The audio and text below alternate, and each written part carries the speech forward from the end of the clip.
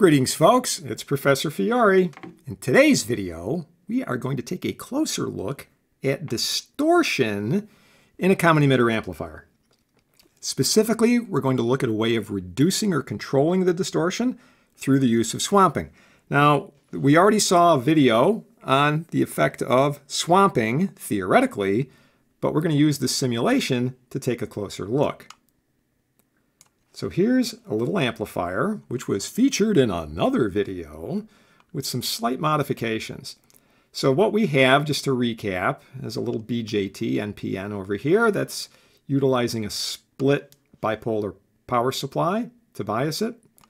Um, we can use the approximation that the base for DC is just about zero volts if we consider the size of the base and emitter resistors. So given that, if this is 0 or maybe minus 0.1, something like that, we're going to lose another 7 tenths on the base emitter, which is going to leave us with maybe 9.2 or 9.3 volts of the power supply to drop across the emitter resistances, 4.6K total. So we divide the 4.6K into that 9.2, 9.3 volts. We get about 2 milliamps. So the R prime E is going to be 26 millivolts, right? That's our constant, divided by the 2 milliamps for 13 ohms. Now, the gain of this amplifier, RC 5K, and parallel with our load 10K gives us 3 and a third K, 3.33K. We divide that by the swamping resistor plus R prime E, the 113. All right. Now, that is going to give us a gain of just under 30 right? An inverting gain of uh, just under 30. So, theoretically, as discussed before, if we were to change this swamping resistor, we should be able to not only change the gain, but we could alter the distortion. And essentially, it's a, it's a trade-off. The larger we make the swamping resistor, the lower the distortion will be. At least that's what it should be theoretically. At the cost of reducing the gain.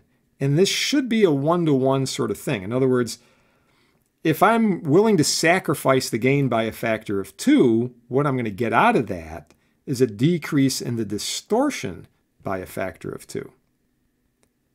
Right? If it's a, you know, a factor of 10, we can reduce the distortion by a factor of 10 by giving up the gain a factor of 10. This is for a consistent output. Now, this is an important thing to remember.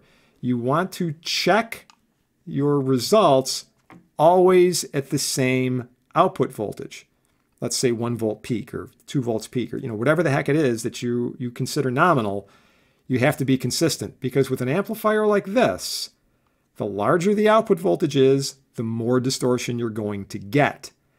So if you just leave the input signal the same, if you never change it, high gain amplifiers are going to have bigger outputs and regardless of anything else, they're going to be expected to have more distortion. Remember, the transfer characteristic of this transistor is this exponential, you know, inverse sort of log kind of curve. And as the signal swings back and forth, it's not going across a straight line, it's going across this curve. And that is impressed on the uh, Ultimately, the load voltage, right, as this current changes, ultimately the load voltage changes similarly. So if I keep the signal change small, there's not going to be a lot of distortion. The bigger the signal change is, the more of that curve we see and the worse the distortion is. So we have to keep V load consistent. In this simulation, I'm going to set this up so that the, uh, the load voltage is approximately 1 volt peak. Just It's a nice convenient number. There's nothing magic about it but, you know, easy to remember, okay? All right, so um, with that gain of a little under 30, it turns out we would need an input signal of about 36 millivolts to get this one volt on the output, okay? So let's just verify that this is doing, you know, what we expect. We'll come up with a transient anal analysis. And see what we have over here.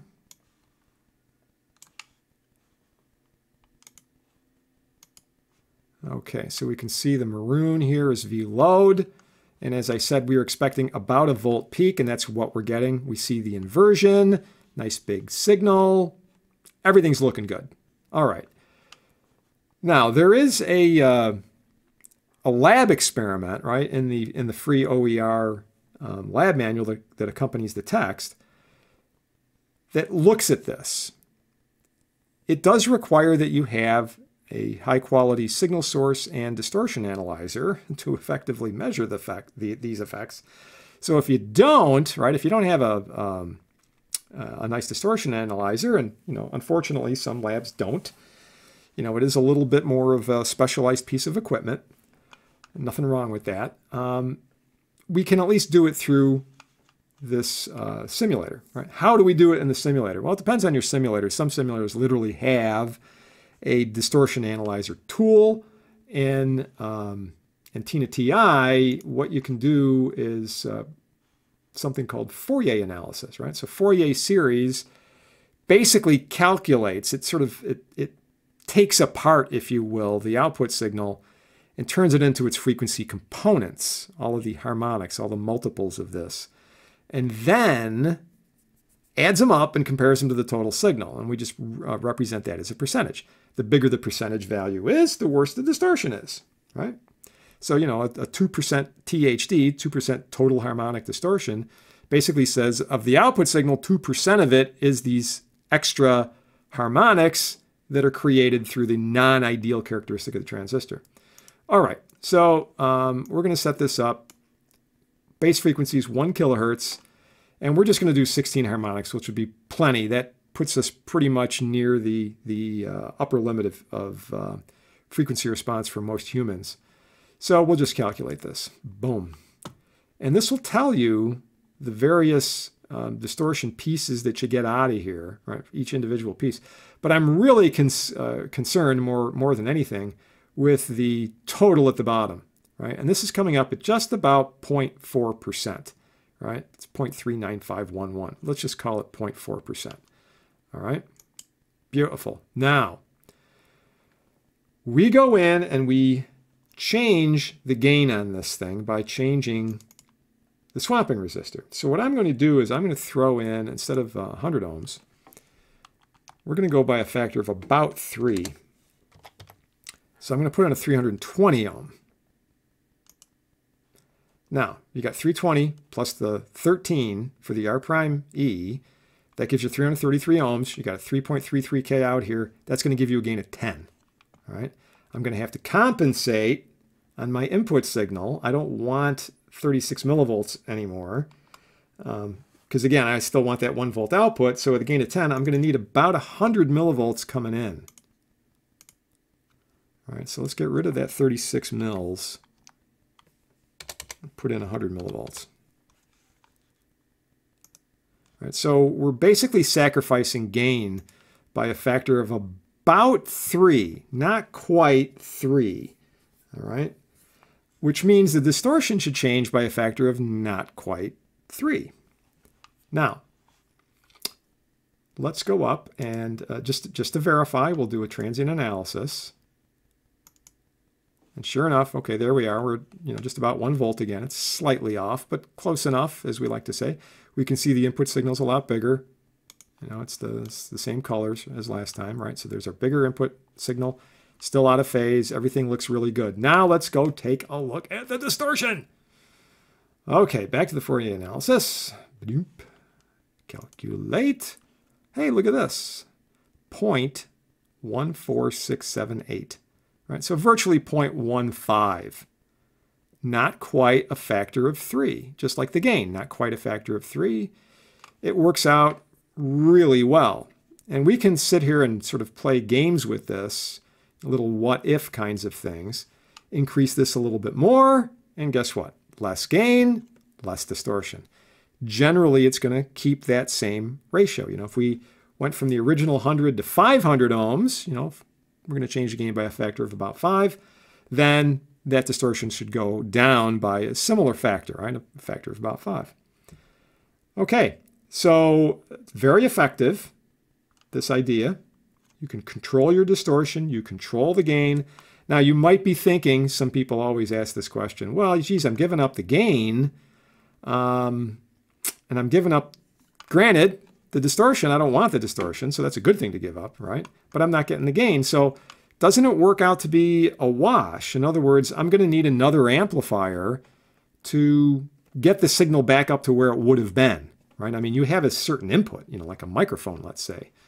So I need a certain amount of gain. All right, so I sacrifice the gain of a factor of three, roughly here. Don't I need another amplifier stage with a gain of three so that my output signal is the same size as what it would have been with this, you know, microphone, let's say? Well, yeah, you would need another stage. But that other stage is not going to have a particularly high distortion. In this case, you only need a gain of 3. As a matter of fact, you'd probably split that gain up a little bit more evenly than what we would have here.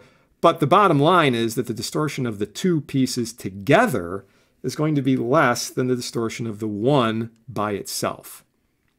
It is more expensive because you have a lot more components. All right you know, it's physically larger. There are, you know, more considerations in that regard, but you're buying performance in this case. You're getting an amplifier that has lower distortion. There are other things that we can do to lower distortion. This is one of them. It's sort of the front line thing that we want to do. Make sure you have enough swamping in there because we don't want to rely solely on that R prime E because it's dynamic. It changes a lot as the input signal changes. And when we start talking power amplifiers with big output signal swings, that can produce tons of distortion. Okay, more on this in future videos. See you then. Take care.